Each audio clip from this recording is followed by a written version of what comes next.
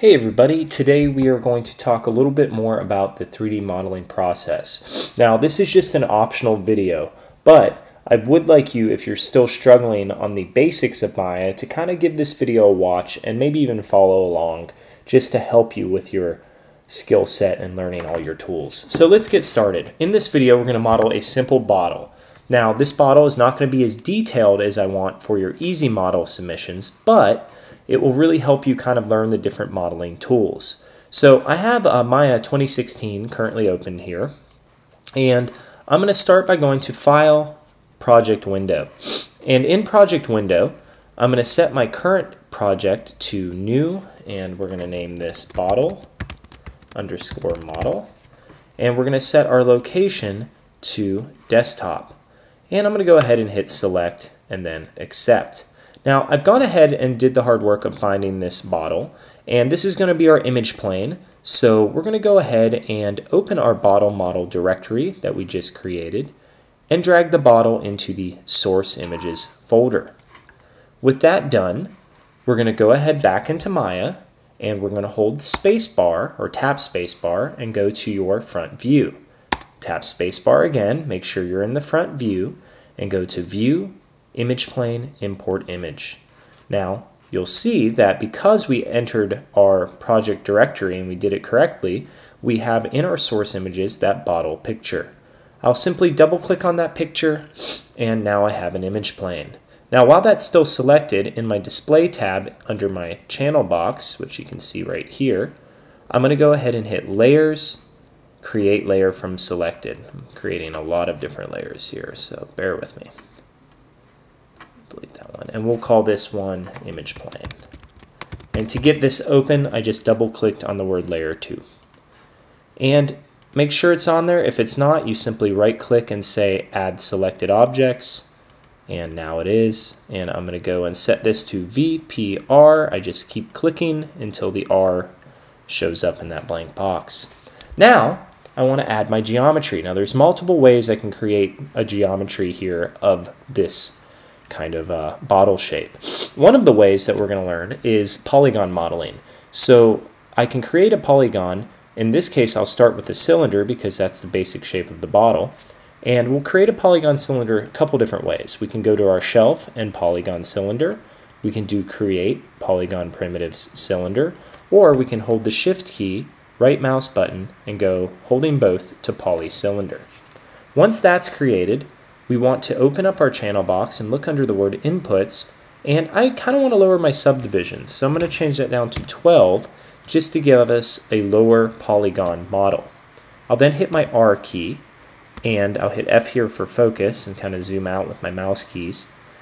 But once I hit the R key, I want to use this center square and left click on it and scale it to the appropriate size of the bottle. Then I want to hold my right mouse button down and go to vertex. Once I have that selected, I can now access the components that are the vertices. So I'm going to select the bottom ring of vertices and I'm just kind of marking, over those and hitting the W key. Then using the handle on my move tool, I'm going to translate those down to match the bottom of the actual bottle.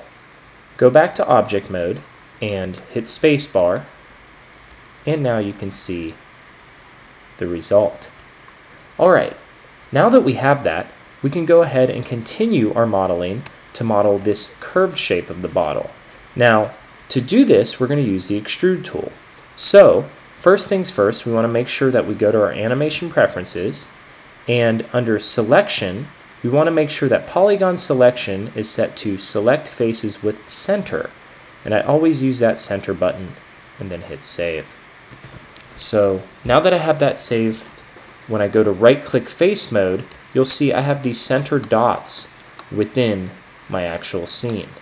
So I'm going to grab just the faces on the top of our wine bottle, hit spacebar, and go to the front mode, and I'm going to begin the extrusion process.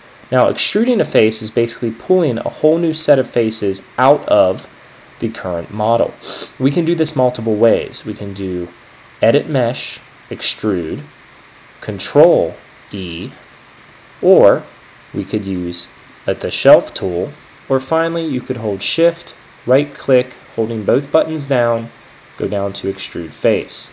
Now, once you have that, simply use your arrow and pull up your object, hit R on your keyboard, and using only the center square, pull in the item. Now, what that's doing is essentially creating the curvature of the bottle. Now, to see this a little better, I can do a few things. I can turn on my shading, wireframe unshaded, and also my shading x-ray mode. Now, once you have this, we could go back to mesh extrude. In our case, we'll just hit the G key. We'll select it and hit G up. It's not working right now, so we'll do extrude again. And we'll pull up R for scale, and then we'll try that G key now. So we'll hit G, there it is. G usually repeats the last tool. R, we scale from the center. Notice I'm not pulling this scale button. I'm simply pulling the center scale button.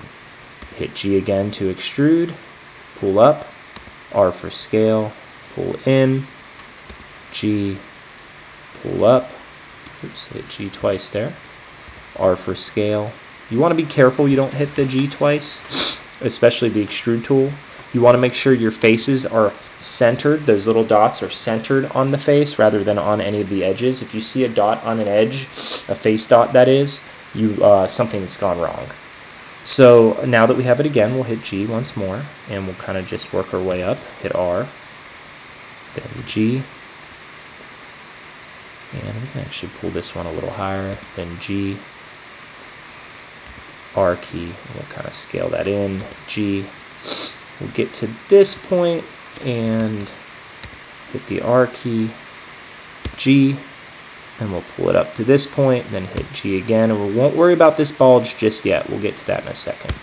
G again, G again, just scale up a few ways. So, if I hit spacebar, what you may notice is now I have the basic shape of my bottle. Let's put on wireframe unshaded so you can see.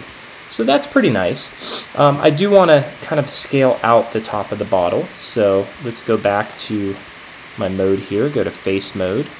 I'll grab just these faces and hit R and scale once again from the center to kind of get that look. And let's add some more geometry. So one of the geometry pieces I'm going to add is an edge loop. For this, I'm going to use my Mesh Tools Multi-Cut tool. And with that activated in component mode, if I hold the control key down, I actually get an edge loop tool. So with the control key held down, I'm going to go ahead and add an edge loop by left clicking and we'll put one in the middle just to be safe to divide that. Holding Alt, I'm moving around. I'm going to zoom in here and kind of put a few little edge loops here. You'll see why in a bit. Maybe one at the very top to kind of help bring this together. Now, we have all the different edge loops, but one of the main things that's missing, and if we look at our actual bottle here at the bottom, zoom out here so you guys can see, is this kind of inside area. So let's go ahead and get on that. And if we go to the bottom of the bottle and we attempt to put the control edge loop tool, which it will work up here, but it doesn't work here. That's because we have triangles. So I'm going to do a little trick. I'm actually going to add a very small edge loop here, hit W, right click edge mode, double click, and then hit R for scale, and I'm going to create a little area to pull in. So I'm going to guesstimate kind of the, the width of that. Right click and go to faces and holding shift I'm going to grab those faces. So that's working rather nicely. And I'll hit 4 and 4 activates my see-through mode. And actually let's go to the front view, it'll be a little easier this way. And let's do our extrude again. Edit mesh extrude. We'll pull that in. We can scale that. G again. Pull it in. Scale it. And then G maybe one more time. Just to the top here. There we go. Now let's look at the bottom. We'll hit 5 on our keyboard so I can see that. I'll turn off my image plane. And maybe I just want to grab the small point in there and just kind of, you can see what I do here, just kind of pull it up to give it that round look. So all of a sudden, rather quickly, we have a really nice bottle. Now, right now we're in very low polygon mode. You can see we have a lot of history. So I'm going to do an edit, delete by type history. That's just going to kind of clean things up. And I can even name my bottle by double clicking in the channel box and calling this bottle and hitting return. Now that I have this all set up, let's go ahead and see what this would look like smoother. So right now I'm going to duplicate this and let's turn off wireframe on shading. And you can see by default I have these lines on them. I don't want that. So overall I'm going to do a mesh display with it selected and we're going to choose on the duplicate soften edge. And what that's going to do is soften everything to give it the appearance of a smooth piece of geometry, but without actually adding any edges. Now I can also harden my edges as well. So to do that, I go to right click edge mode, double click on an edge loop, and here I'm going to do mesh display harden edge, and I'll do the same here for the top. And we'll kind of scale this down a little bit, double click. And let's do double click there, mesh display, harden edge. And if we click away now, you can see we have a little more definition on the bottle. Now we could do that down here as well because as you can see it doesn't really appear flat. So if I double click on this edge loop mesh display harden edge you can see now it does that. It's a little harder. So that's one way. But what if we want to go further? So I'm going to duplicate this again just so you guys can see the transition or the progression of our models. And I'm going to work with this in smooth mesh preview mode. Now if you hit 3 on your keyboard while your model is selected, you'll notice it really smooths it out quite nicely. And this is called Smooth Mesh Preview. If you hit 1 on your keyboard, it goes back to the very linear, sharp, low poly version that you were working on. And this is a good way to go from linear to organic shapes. So to do this, what I like to do is when I click on my bottle, I'll hit 2, and it kind of shows me a preview of both. If you look very closely, you can see the little shell on the outside of the bottle. This is actually the linear shape, and then the geometry is previewing the smooth shape. So I could go in here, and I could add a bit more detail if I chose to, and kind of do some, some nice touches, maybe get my multi-cut tool once more. And let's add another edge loop in there, just to kind of round out the bottom. So that looks really nice. And maybe we'll add something here to the top. Let's get very close here We'll add almost like a bevel to this top. So I'm holding control with my multi-cut tool and go to edge mode, double click, and we'll kind of scale that in, hit W, and double click again on the edge. There we go. Get a nice scaled out look. Where you get it when you like it, what we can do is actually we should save our file real quick. So we'll do a save scene. Call these bottles and we'll get the little warning here in a second. There we go. And we'll convert this to actually a higher resolution geometry. Right now these are low res and they don't have a lot of faces, but the what it's doing in 3 mode is it's actually giving us the appearance that we smoothed this model and added more density. So to make that actual model super dense, we would go to Modify Convert, and I would simply choose polygons, or excuse me, smooth mesh preview to polygons. And with that selected in object mode, now I have a pretty dense mesh. Now in my inputs, I actually get a smooth node. And I can even change this. I can bring the divisions down to one.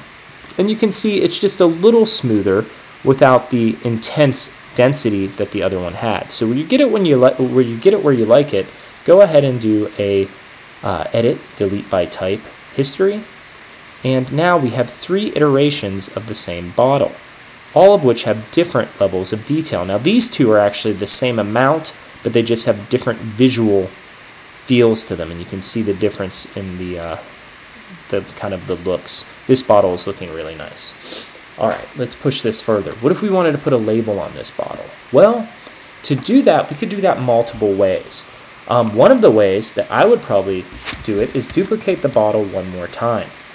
And I would go ahead and select the faces on the bottle where the label would be. And I would actually use one of my other tools called the Extract tool. That's under Edit Mesh Extract. And by using this tool, and you got to be very careful which arrow you pick, but you can see it kind of moves it all different ways. I like to go ahead and hit this little center piece and then just move this out of the way. Right click object mode and then now I can hit delete and actually have a little label. So you'll notice when you go to hit W that your manipulator isn't actually on the extracted faces. So to get that back to normal you do modify center pivot. That's going to center the pivot point. And now I can match this up. I could even extrude this outward, so we could use our edit mesh extrude, or pardon me, mesh, oh, no, was right, edit mesh extrude. And I'll pull that out just slightly, give it kind of two faces like a label would be. And we'll just kind of pull that on there. And now we have, if I take off my wireframe, the illusion of a label. And that label may not be exactly correct, but I could go and change it. I would obviously want to use reference imagery to kind of get that to work.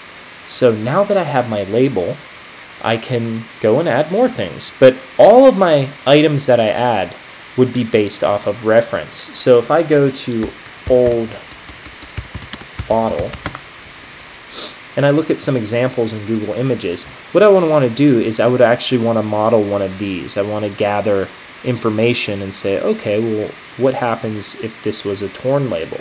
How would I get it to go there? Well, for that, I may go ahead and delete partial faces. And, you know, let's use side mode since we have it. There we go. And hit delete. And now we can start telling a story with this bottle. So I can grab my vertices, I can hit W, I can rotate these outward. And let's hit W again. And we can start kind of playing with that shape. And this is where really the creativity comes. You want to make sure using image planes you get proper proportion. Um, otherwise, it doesn't really kind of work out for you. And as I kind of work here, there we go. And kind of just work on the, the overall shape and bend of that bottle. And I could use my smooth preview mode again. So if I feel like smoothing this out, smoothing this label, that's definitely something I could do. I kind of like it smoothed. So again, I'll go to modify, convert, smooth mesh preview to polygons, and that gives me a little bit more of a ripped label. I can even pull my smooth face divisions down from 2 to 1. And up, you can see we get a little bit of geometry messing up, so let's pull it back to 2. I'll just make it nicer. And now, let's hide the grid here real quick. You don't have to do this, I just want you to see my bottles. I'm starting to get a really nice story out of my shape. And there's a lot of other tools we can use for this. There's the sculpt tool, there's there's all sorts I can put like wrinkles in here. I can start adding again damage or I can add the there's on the glass there's actually these little small circles I could add those down there. Bottom line is I'm using my reference to achieve a very close proportion bottle that looks realistic. Now finally, let's go ahead and put all these bottles on a layer and if I wanted to make a bottle another way, I could use curves. So I'm going to add these objects and I'm going to rename this layer bottles. And we'll hit save. And let's turn on the image plane once more. And let's go to the side view. And check this out. I can actually use create curve tool, CV curve tool, and draw the curvature of the bottle. Now this is a really, really sneaky way to do it, and that doesn't mean it's the wrong way. That just means that you're working smarter, not harder. And we may not be able to get that exact top portion. I want to make sure that I'm drawing it. Now what this tool is basically like is like your pen tool. So I'm clicking with my left mouse button. I'm basically drawing vertices. And I'm mimicking the profile, we'll go to the very top here, of this actual geometry. And then when I'm done, I'll hit return. Now, I don't know if you guys can see that on your screen. I'm going to pull it out so you can. I kind of have the shape of the bottle, so I'll hit Z so it matches again. And once I have that, I'm going to go in the modeling menu to surfaces and revolve. Now I'm going to hit the option box, which is this little box to the right of revolve, and I'm going to make sure first I reset my settings, and second I set my settings to polygons. I'll hit revolve, and I have some work I still have to do, but check this out. I've made myself a bottle. So let's see what else we could do with this bottle. So I'm going to go to my attribute editor, which is right here. It's these kind of three sideways popsicles. And I'm going to go to the word NURBS tessellate. And when I do this, and I have to make sure that I've set that, that option to polygons before I loft that curve, I can go ahead and adjust the tessellation. So I can change the polys from triangles to quads. We have some n-gons in there we'll have to fix. I can change them to specifically fit a certain poly count. So if I'm only allotted maybe a thousand polygons for something, I could do that, or I could lower it or raise it. I could also do my favorite, which is general, and general looks something like out of the Phantom Zone and Superman. But general, I go to the general tab, and I change my U and V type to per span of isoparms. And this is the really cool thing. By doing that, check that out. Look at that detail we have on the bottle. So it's not perfect. Again, we don't have the bottom of the bottle, but we can go ahead and grab specific faces. So we can double click on these edges. We can convert edges if we want to. Uh, there's ways to kind of convert edges to different selections. We can, what can we do? We can paint those little edges or we can just simply, actually I like the paint tool. Let me go here to the paint tool and I'll show you guys. This is a fun tool. So we just kind of go around. I hit B and my middle mouse button, and that will make it smaller. And let's go ahead and paint the selection. Again, that was B and my middle mouse button held down until I got the size I want. So again, B is in brush, middle mouse button left and right, and then I let go. And when I get it to where I want it, then maybe I can do an extrude. I'll center that extrude and pull up. Oh, it looks like we got some sort of weird shape. Up, oh, you know why? Because I accidentally selected some of the backside. So let's delete these by holding shift. There we go. Now let's try that extrude. Make sure we don't have that. And I'm going to undo it one more time Make sure I don't have any faces selected. There we go. Okay. Extrude face, center it, pull it up, and put five. And if I get an area like this, which I'm not too sure what's going on, I usually grab it, try to delete it. That worked actually rather well. And then I can start grabbing my edge loops by double clicking, pulling those up.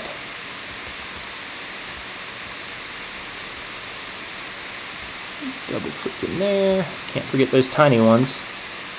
And kind of start making our shape. And subtract those faces.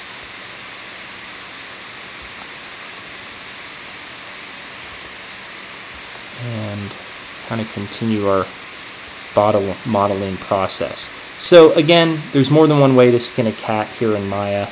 But overall, hopefully with this lesson, you guys have realized there's a lot of different things you can do. And I deleted a face by accident, so I would need to fix that. Might as well teach you that while we're in here. I'm going to use a cool tool called the Append to Polygon tool. If you have a hole that you accidentally messed up, you click on one edge, you click on the other, you hit return, and voila, there you go. So we're getting there. We would have a lot of work to do still. Um, you can see here in smooth mode, but it's another way to kind of create that bottle. Let's put them all side by side with one another. And when we're done, we would do create or pardon me, edit, delete by type history. So we have different types of bottles, all made in unique ways. One of them was made with curves, you can see it. The other one was made with simple box modeling, and we even did some extracting to make a very cool label to start getting some detail for the bo bottle. So hopefully you enjoyed this lesson and you can apply these techniques to start your easy model and then really push the detail and creativity of your model using photo reference. Hope you guys enjoyed and I will see you next time.